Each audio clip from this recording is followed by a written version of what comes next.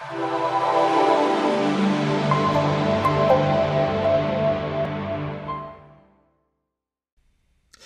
Keller Williams, Johnson County. This is Sascha Chatman, your Tech Jedi. See if I can do this tip in two minutes. So, um, big thank you to April Clements who pointed this out to me. She asked me to, to help her out real quick when I showed her a quick video, and I realized I wasn't sharing everything on KW Connect. So, I want to show you guys what my mistake was so you don't make the same one.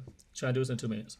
All right, go to Education, hover over that, click on Connect, KW Connect. It's going to take you to the back end here. Search for my name all right, so when it pulls up, you can just click on it and take you to my profile. We all have the same profile. Now, here's the deal. I have all these videos, but I wasn't sharing it with you guys because I made one critical mistake. So, for example, here's one I just made here for April real quick. So, this is what you have to do. I'm going to edit it. When you are uploading a video, you get a page very similar. If you click a drop down here and you put it on any type of a group, okay, it's only going to share with that group. It says it right here. Select community, selected community groups makes the upload visible only to that selected group.